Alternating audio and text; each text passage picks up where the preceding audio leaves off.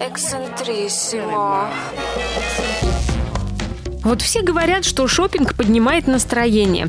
Девушки, прогуливаясь по магазинам, забывают, что надо делать уроки или греть кастрюли с водой, чтобы помыться, потому что горячую воду отключили. Среди витрин они модные, почти знаменитые и благополучные. А несчастные олигархи, оказывается, частенько бывают на это не способны.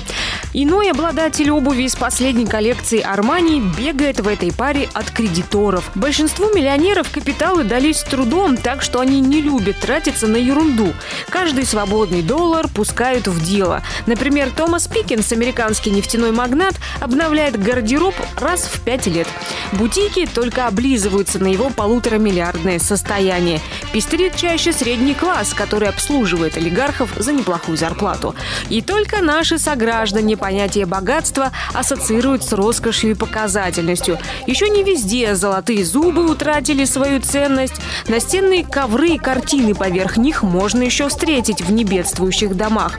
Уж очень неприятна мысль, что при всех своих миллиардах, заводах, яхтах и вертолетах нужно ходить в casual стиле, а наведываться в секонд-хенд – хороший тон. Эксцентриссимо. Эксцентриссимо.